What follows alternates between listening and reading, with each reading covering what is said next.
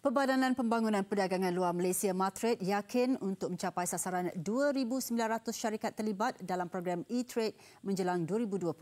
Menurut Timbalan Ketua Pegawai Eksekutif 2, Syari Matun Mat Saleh, sehingga Oktober tahun ini sejumlah 1,900 syarikat telah mengikuti program e-trade sejak diperkenalkan pada tahun 2014. So that's about 62% of this target. So we believe we are on track lah, to achieve this um, RMK 11 target to bring companies to export through e-commerce. Program e-trade dimulakan pada 2014 dan membantu syarikat-syarikat untuk menyertai platform e-dagang yang tersenarai seperti amazon.com dan alibaba.com. Tambah Syarimatun, Matrix juga membantu syarikat Mitia dengan melengkapkan pengetahuan dan data berkaitan untuk mengeksport produk mereka ke peringkat antarabangsa.